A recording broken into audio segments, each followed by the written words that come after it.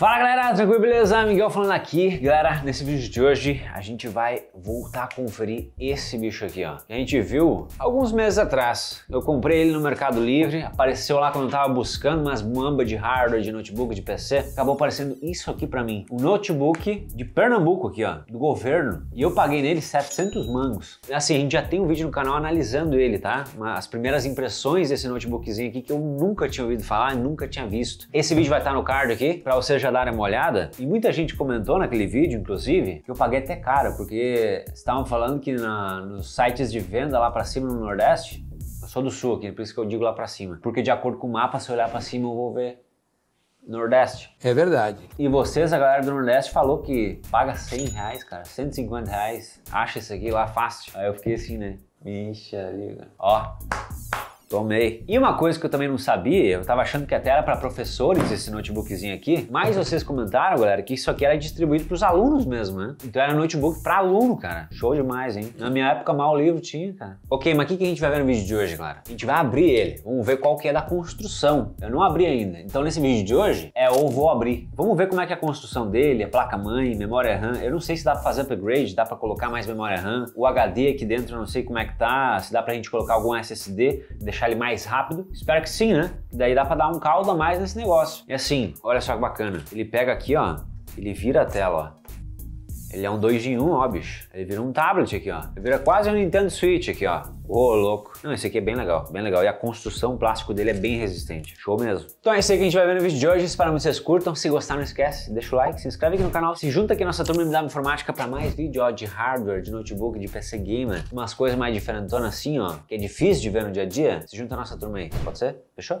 Muito obrigado. Então é isso aí. Vamos lá.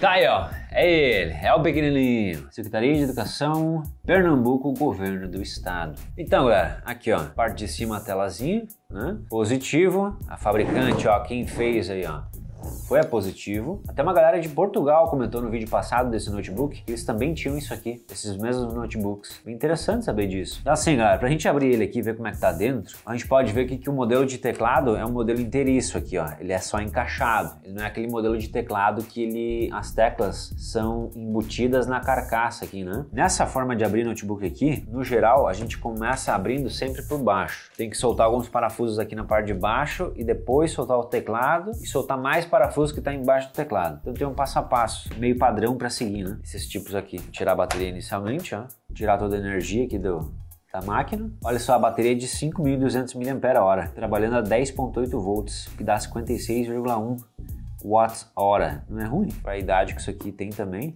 Não é nada ruim, na verdade. Uma pena que, como é mais antigo, consome mais, então acaba que não, não dá tanta o benefício assim da economia de energia. Ó, o negócio tem uma canetinha, vou tirar aqui já. E tem umas borrachinhas aqui, eu acredito que essa borrachinha aqui deve ter parafuso embaixo.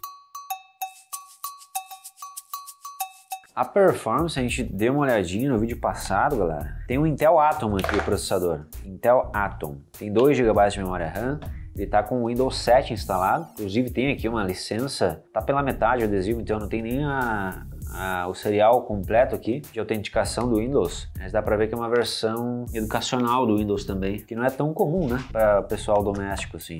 Pô, mas tem os parafusos aqui já, hein? Putz, grila. Pancada de parafuso embaixo aqui da, da parte da bateria.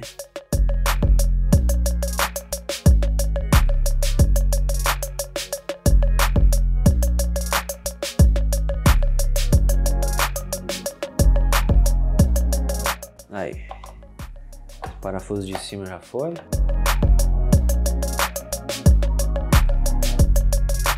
Tá. Tirei tudo que é adesivo aqui na parte de baixo. Agora eu vou ver aqui no teclado se a gente já consegue retirar esse teclado. Tá?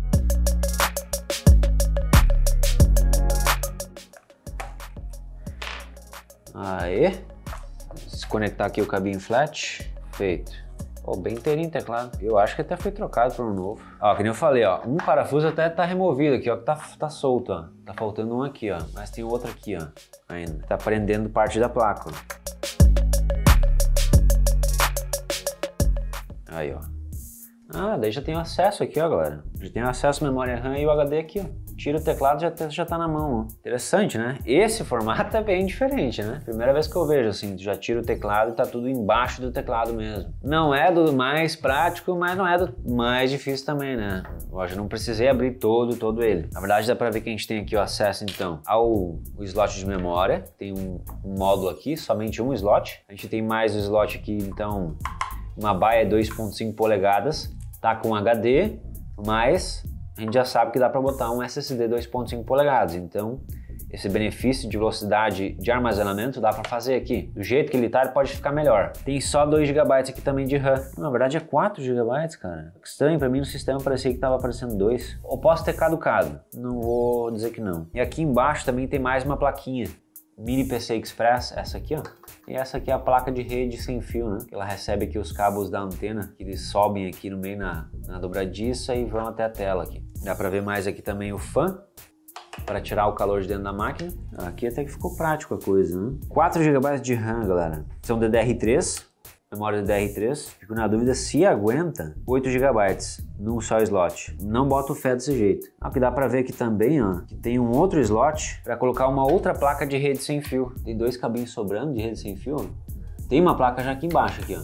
Ela já tem dois cabinhos aqui, ó. Aí tem mais esses outros dois cabinhos aqui soltos. E se olhar assim, ó, por aqui a gente vai ver que tem outro slot dando sopa aqui, ó. Então tem mais uma expansão nesse espacinho pequeno aqui. Ó. Na verdade, até esse espaço aqui dá para colocar uma outra expansão de algum SSD também nessa conexão mini PC Express aqui. Interessante. Ah, um outro detalhe. Para fazer as expansões aqui, na verdade, eu nem precisava ter desparafusado a parte de trás, né? É só ter tirado o teclado mesmo aqui. Não tem nenhum parafuso que prende nesse tipo assim. Show. Ó, galera, tirei o HD aqui, tirei uns parafusos que tinham aqui na lateral também, mais de carcaça mesmo. Eu vou tirar fora aqui os cabinhos da antena da rede sem fio e vou tirar essa placa de rede aqui. Aí, ó. Já era. Pelo que eu vi, bati o olho em geral aqui, acredito que eu já posso começar a arregaçar com a carcaça mesmo aqui abrir o bicho mesmo. Para tirar toda a dúvida, vou pegar essa borrachinha aqui também, ó, essas maiores aqui, que ficam de apoio na mesa. Vamos ver se não tem parafuso embaixo delas. Caramba, a borracha tá aqui também. Olha aí, hein? Não é que tem mesmo? Nos de baixo não tem. Beleza. Só aqui nos de cima. Eu acho que o notebook ele até tinha alguma coisa de armazenamento SSD talvez, e que foi removido. Poderia ser também uma placa Bluetooth aquilo ali, aquele slot disponível, né? Ele não tem Bluetooth. Então, assim, tinha um parafuso espanado dentro ali no HD e foi esculhambado já por dentro. Isso aí sem dúvida.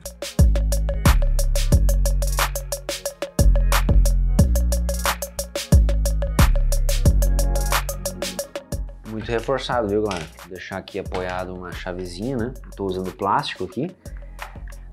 Esse é uma outra, um outro ponto que eu gosto de colocar. Usa sempre plástico com plástico na hora de abrir. Tu usar um metal, ele é mais resistente que o plástico, então ele vai dar aquelas marcas, né? Vamos ver, cara, como é que vai ser isso aqui para tirar com essa tela maluca aqui. Terminar de tirar tudo que é cabo flat que eu tenho aqui ainda conectado, senão vai dar ruim.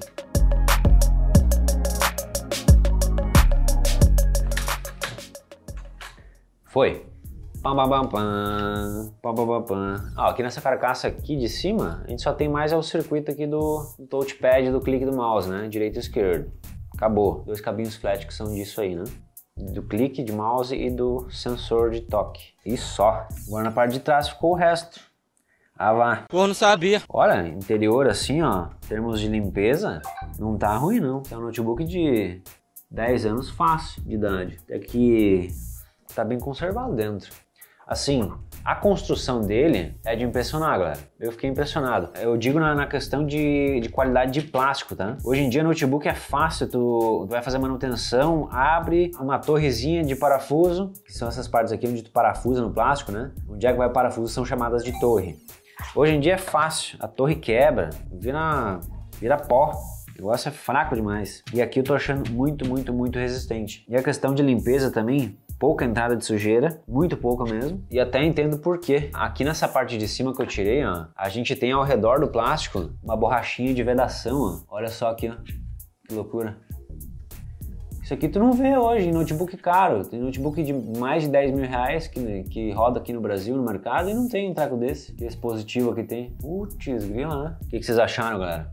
Louco, né? Uma pena na questão de performance, né? Que já tá bem limitado para os dias de hoje. Rodando com o Windows 7 que ele tem aqui, até que ele vai bem, não é tão problema. Mas se quiser inventar de botar um Windows 10 aqui, Olha, eu fico com dúvida. Até com o SSD. O SSD vai deixar mais leve a coisa, mas o Atom que tem aqui vai pender a coisa, não adianta. Não tem muito milagre. Uma versão de Linux possa ser interessante também, né? alguma distribuição Linux para instalar aqui, junto de um SSD também. O HD hoje parece que ficou 500 vezes mais lerdo. É, detalhes finais que a gente tem aqui, o terminal de encaixe da bateria aqui na parte de cima, padrão.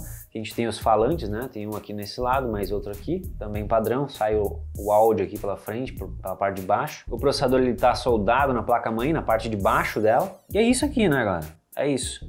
A parte de tela não vou abrir porque é uma tela convencional, o LCD, o painel aqui. O único diferencial que poderia ser aqui é mesmo que tenha a questão de toque com a caneta. Mas ok, galera, o que, que vamos fazer agora? Hã? O que, que a gente inventa agora? Eu tava me perguntando esses dias o que, que a gente poderia fazer para brincar com ele, com essa performance mais reduzida. E aí eu lembrei das minhas épocas de criança, de infância, quando eu tinha um PlayStation 1, o único console que eu tive. PlayStation 1. Tem uns jogos massa, né? Que dá para emular, exige muito pouco de hardware, né? E isso dá pra fazer aqui. Ou seja, esse mini PC aqui dá para virar um PlayStation portátil, cara. E aí, o que vocês acham, galera? Vamos testar?